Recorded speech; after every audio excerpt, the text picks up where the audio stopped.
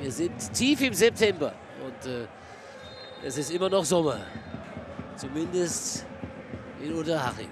Also Haching rot-blau, Saarbrücken ganz Risotto.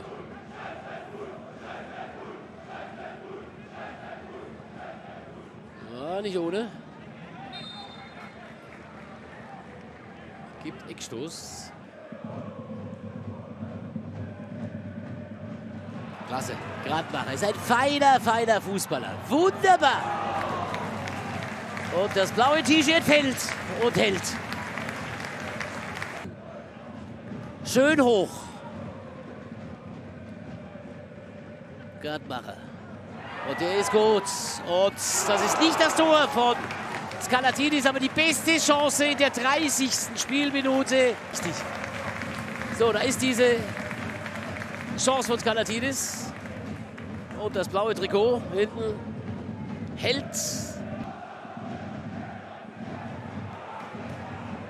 Rizzuto. Torwart ist weit von dem Tor. Rizzuto kann heben.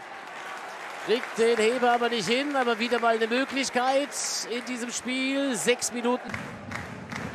Das könnte auch eine Position sein, bei der du mal die Direktvariante probieren kannst. Das sieht mir auch so aus und der ist nicht schlecht, aber den fängt er trotzdem locker und entspannt. Der Mann in Blau da hinten.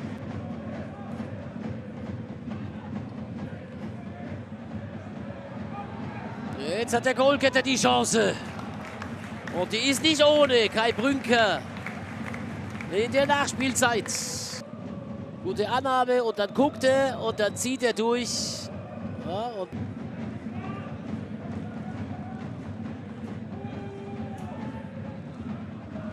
und Rizzuto. Der kommt. Ja, der kommt richtig da. Rizzuto mit der Flanke vielleicht die größte Chance in diesem Spiel. Weil dann doch werden wir wahrscheinlich einen emotionalen zweiten Durchgang hier erleben. Kurz nach halb neun in Unterhaching, Saarbrücken zu Gast 0-0 nach der ersten Halbzeit. Unterhaching in Rot und Blau, Saarbrücken da alles sammeln, um weitermachen zu können. Hängt sich da rein. Guter Abschluss. Versuch von Gauss. Kein Reißer, aber immerhin aufs Tor. Günther Schmitz. Günther Schmitz. Ball im Mittelfeld. Und das Spiel ist jetzt zu Ende.